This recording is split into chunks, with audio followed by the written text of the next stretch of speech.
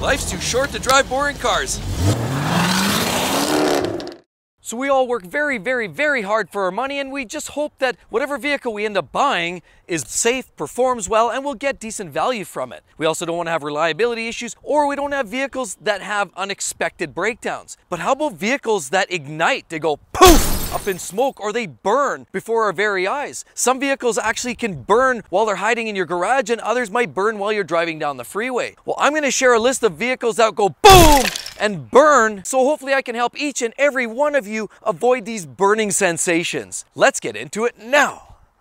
Before we get into the list, let's share a few basic statistics. Did you know that about 19 vehicles are burning every single hour in the United States? And most of those causes for fires are variable. Some of them are careless activities by the owner, some of them are design flaws by the manufacturer, some of them are just an outright equipment failure, and some of them are just caused by some kind of odd heat source that can ignite some gasoline fumes. Now there's been a lot of press on electric cars burning these days, but still approximately two thirds of the fires are based on internal combustion engines, and only about 5% are actually caused by collisions. Now the first one on my list is one that I couldn't resist. It's not an engine per se, it's an electric motor driven by a battery, and that's in the Tesla Model S. I couldn't resist because these vehicles have received a lot of press lately. Did you know that in these high output batteries in a Tesla, that they're about 11 times more susceptible to flame than a vehicle with an internal combustion engine? Now Tesla claims that there's only five vehicle fires for every billion miles, but I guess time will tell. And there's a recall that's hit the radar lately, but before we talk about an example of that, let's take a quick look around.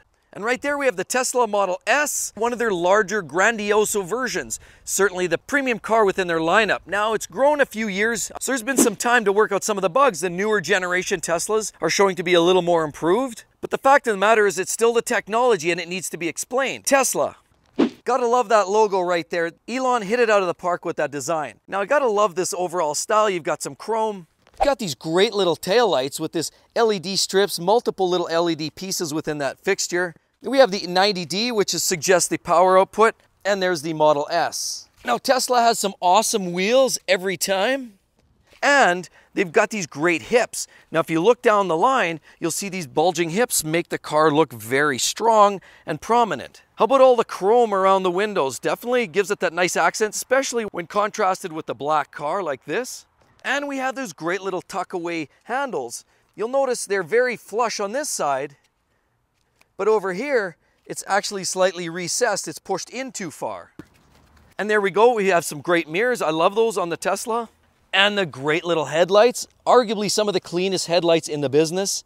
And I love that front grille. There is none. No honeycomb, but it looks great nonetheless. So it's a very attractive car certainly almost looks exotic, borderline. Some of the quality control issues, for example, fit and finish, with the door handles not fitting right, some door panels don't align right, as well as the air suspension has been a problem for many, many owners. So it's just a sign of some quality control issues. Even that center screen, which is essentially the central hub of operating this vehicle, has been known to crap out very frequently, blank out, glitch, or just needs a full out replacement. So it becomes a very expensive car and one that's very glitchy via electronics.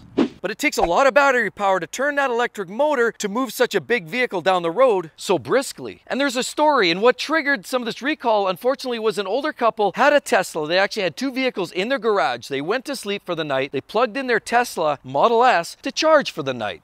Okay, thinking middle of the morning, the vehicle would be charged. By the time they get up for work or what have you, they'd be good to go. But it didn't happen that way. The way it works out was it started a fire. Fortunately, the couple woke up, ran out of the house, and were able to avoid the fire that was occurring in their garage. Now, unfortunately, not only was the car in question burning, but it was also burning the car next to it, which was also a plug-in electric vehicle. So it's a very, very sad story, but unfortunately, it's that very chemical reaction that generates an extreme amount of heat in the batteries. And if the engineering isn't bang on, you can overcharge it and create that fire. The Tesla Model S. The next vehicle on my list is what's parked behind us here. Now, while it's the, not the latest and the greatest, there are still a lot of these survivors on the road, and it's the BMW 3 Series, 5 Series and Z4 from the 2006 to 2007 generation. What we have here is an E90, E92, or an E60. They're great. They're well made. People enjoy driving them. They're the ultimate driving machine. So even though they leak like a sieve and people are gluttons for punishment, as I am, there's still many, many of these on the road. You have to beware of this major fire potential. But first, let's look, give you an idea what we're dealing with here with this generation. I mean, what we're looking at here is the E90 generation, which is the sedan. As you can see, we've got a trunk and we've got four doors. If you had the 92, it would be a two-door coupe, but essentially the same vehicle underneath. This one here is a 328. That means it's an inline six. The newer 328s have the turbo four, but this is the outgoing generation. BMW right there. Always have some great rims. We have some great fat little handles, as well as kind of old school. They're using the key to get in there yet. How about those basic little mirrors?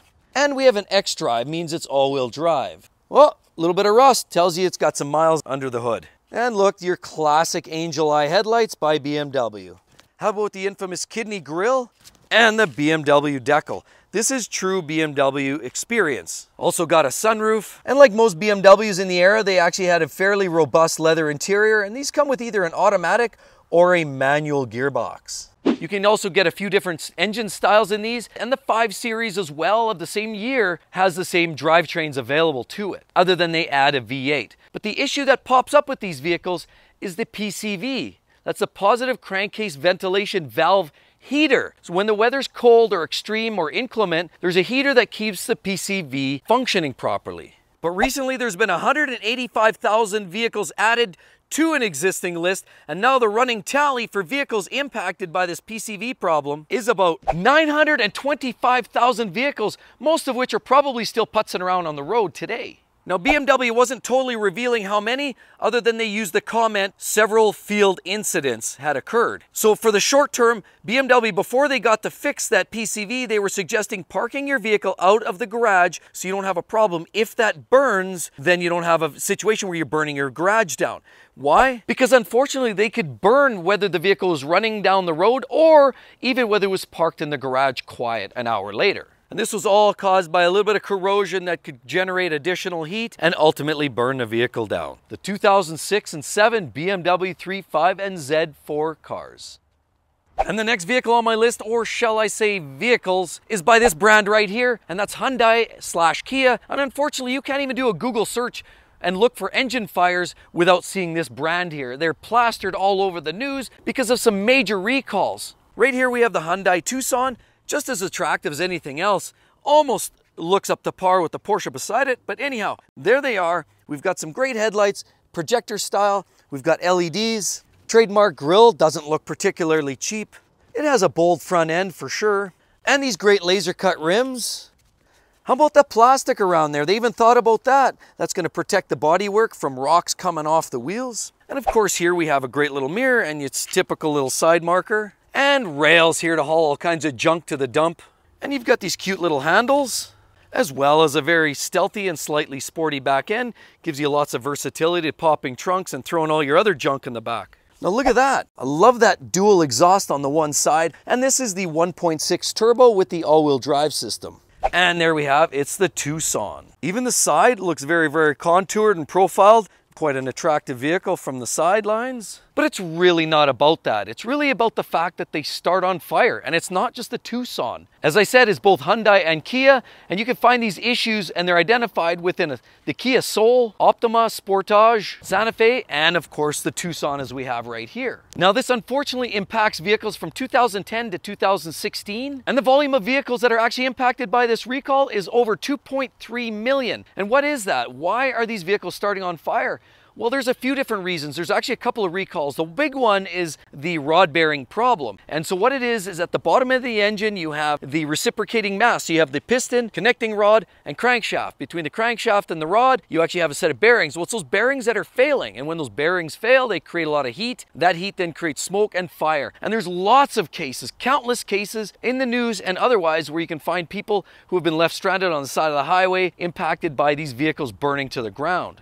Sadly, Hyundai and Kia have been a little slow on the uptake to actually make this all right, and there have been a lot of people really put out by these issues. There's been about 3,125 reported fires, 103 people actually injured by these fires, and one unfortunately perished as a result of these vehicles burning to the ground. Now, unfortunately, part of the fix was for Kia and Hyundai to put in a software patch and or equipment to sense for the rod knock before it even became a major problem. But to me, I think that's garbage because all you're doing is putting a band-aid on this whole situation. You're just listening for it. You're not fixing the problem or the root of the problem. You're just sensing the issue before it actually goes boom! And then people are unfortunately still going to be put out by a vehicle that needs a new engine. The Kia and Hyundai vehicles. And the next barn burner is parked behind me and it's a 2013 to 2018 RAV4 by Toyota. Now everybody knows Toyota is king of reliability, but even they slightly miss the boat at times. There's actually 1.9 vehicles now that are under scrutiny and investigation for fires. But let's take a quick look first. There we go, we've got the RAV4, ouch! And we've got a little fancy cover on there. These vehicles are essentially almost bulletproof with the exception of these fire issues that we're talking about here. Course, they're four-wheel drive. And they got the little pea shooter exhaust, no power, but they're reliable. And they've got these great little color moldings, as well as these tiny cute little handles on the back, as well as on the front, and a really basic 80s style vintage mirror, as well as a roof rack to haul more garbage around. There, there's nothing too much fancy here with these. We've got a standard headlight arrangement, and there's Toyota with the V6. You can get a four banger as well. This is the engine to have though.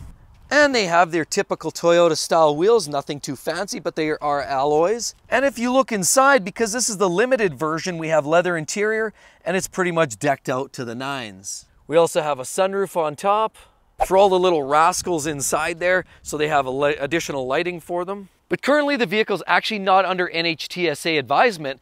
Unfortunately, because of the investigation, they are looking at the fact that there's now 11 of these vehicles that have actually burned. And now that's why they're advising everybody in the model year range to take care, take note, and the investigation is going to hopefully flush out the issue. But so far what they're saying is there seems to be a commonality between collision damage repair and battery shorting out. Now, the battery terminal, they're saying the positive post is too close to chassis and ground and it's shorting out. And when that happens, it ignites a fire. Of course, all kinds of flammable fluids under the hood and everything goes up in flames. That's what they're suggesting at this time. That's preliminary, but this is just an advisement and a caution to anybody who owns a 2013 or 2018 Toyota RAV4.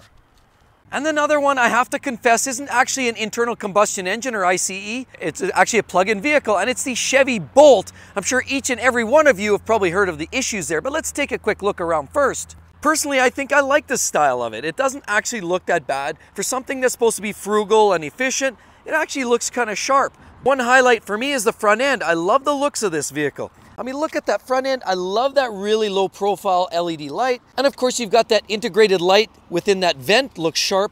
And the front end just looks great. What is with that texturing? I really, really like the looks of that. And it's a Chevy, but in black instead of blue. And we circle around, look at this vehicle. We've got great piano glass black, as well as a great little LED strip, soft touch. And I love these wheels. I mean, they are absolutely great. They have these great style What's with all that little texturing in there? That looks great. Love it. Very cool and intriguing vehicle. You've got lots of plastic cladding to prevent the vehicle from destroying itself with rocks and gravel that you find all over the road. And there we are. It's the Bolt EUV electric utility vehicle. And it looks great. I mean, you've got this nice little finishing down at the very bottom. How about this little black stripe here? It all looks actually relatively well dialed in. Some nice quality components, some nice tail lights, again, LED. The parts on this actually do look somewhat upscale. Sure, it's not a Cadillac, but you're not paying Cadillac money. And it looks great too. You have a nice little leather interior as well as a touchscreen in the center. The vehicle actually looks like an upscale luxury vehicle. I'm liking what I'm seeing, but unfortunately, it's the battery inside that's been supplied by a Korean manufacturer that has been causing lots of fires. Lots of recognition all over the internet about it. It's a sad state of affairs. They've had to go to another manufacturer. Charging over 90% has been part of the culprit, but it's not too unlike what BMW was dealing with in their hybrid battery selection, where there's contamination within the cells that can create additional heat and therefore fire. So the Chevy Bolt, love the way it looks, waiting for the fix. So here's the next potential flame child right here is a vehicle that's very, very new. It's actually one of the latest and greatest models by Volkswagen. And it's actually a small little SUV or medium-sized SUV, if you will, and it's called the Taos. What we basically have here is something that's similar to the BMW X3 in size and stature. Every manufacturer is building this size and this grade of SUV. It's quite a neat vehicle. I mean, you've got the LEDs on the front end and of course Volkswagen right there keeps their simpler style. It's not quite Audi, everything's simplified, but it still looks actually very, very sharp. We've got these great little vents. And how about those alloy wheels? Very, very interesting there as well. Looks like they kick off a lot of airflow get a little better fuel economy. And there it is, it's the Taos. Now you got a standard little matte black mirror and a pretty standard looking handle arrangement. And here we go, we can put a couch, drywall, plywood, you name it. We could fit it on top with that fancy little roof rack. And of course, we've got that great little plastic cladding all the way along the bottom, protect it from the stones like a lot of SUVs have today. And there as well, LED tail lights. Gotta love these, very clean, very glossy, and very sharp. And here's a trend that seems to be a little bit awkward. It's not an exhaust pipe. There's nothing there but a space. And the same thing over here, another space. But there's no pipe at the very bottom to recognize. So Audi's big on this. They're doing these cheesy little fake exhaust tips, but if you look underneath, you probably see an exhaust pipe somewhere. Here we have 4Motion because it's all-wheel drive. And of course, standard hatchback for an SUV. And the interior is definitely consistent with the Volkswagen brand. They've been making these very Spartan basic style interiors for quite some time now. But it is a quaint, cute little vehicle. What's the problem then? 17,000 of these vehicles have been recalled for a potential fire hazard. And I mean, when this happens and it goes off the rails, it's a significant fire hazard. That's right, a real firebox. What it is, is the fuel systems are connected with quick connects. They snap together. Well, what the problem is, they're recognizing that some of them may not be securely fastened, so you could spew out fuel. Of course, some of them might be distorted, some of them might just not fit properly or damaged, and that could result in fuel spilling, leakage, fumes escaping under the hood, and of course, ultimately, is flames. They've been recognized by NHTSA, and now there is a recall in place for these. I mean, now think back BMW, quick snap together coolant fittings. We know how that panned out, right? Coolant everywhere, snapping on the ends lots of problems down the road. It's perfect when it's new, but when it's five, six, seven years of age, 100,000 kilometers, then you start to see the problems. I hope we don't see the same issues here, but currently there's a recall. These could go up like a tinderbox. And with all of that said, hit that video. You're going to love it. It's going to share some of the vehicles with the worst transmissions in the world. Hope to see you real soon. Catch you then. Bye-bye.